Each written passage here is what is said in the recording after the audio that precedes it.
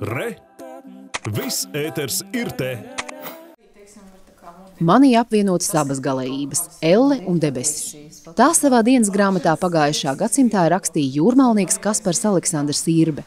Būdams homoseksuāls, viņš dienas grāmatu slēpa. Plašāk sabiedrība par to uzzināja vien pēc viņa nāves, pateicoties Irbes mantenieka Aināra Radovica centieniem saglabāt pierakstus. Tie, kas tapuši laikā no 1927. līdz 1949. gadam, tagad izdoti grāmatā Slēptā dzīve – homoseksuāļu dienas grāmata. Tās pirmais sējums ir biedrības akcendum un apvienības mozaīka sadarbības rezultāts.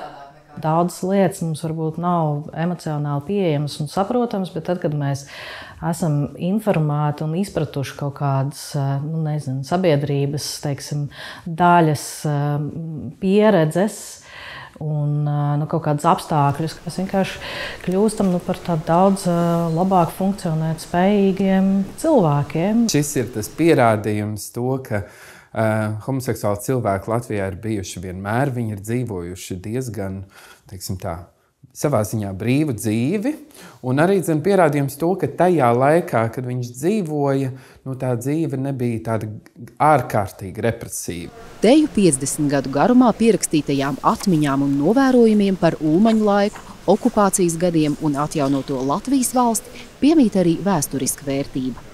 Tas ir pārdoms, pašrefleksija, nu, par svarīgiem jautājumiem, arī par, nu, teiksim, kas es esmu un kā es jūtos, un arī nu, tas, ko tu redzi, tie novērojumi. Tā ir tāda e, pagātnes daļa, kas parasti ir palikusi aiz borta nu, šajos klasiskajos, tradicionālos politiskās vēstures narratīvos.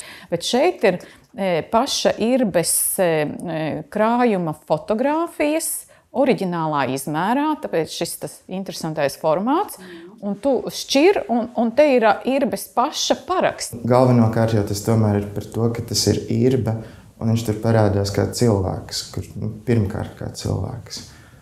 Visās savās pretrunās, skaistajā un neglītajā, un man šķiet, ka tieši tas ir arī svarīgs. Grāmatu sēriju iecerēts turpināt un nākamajos sējumos izdot arī vēlākos gados tapušās īrbas dienas grāmatas. Līga Gaigala un Pēters Barkevičs, Latvijas televīzija.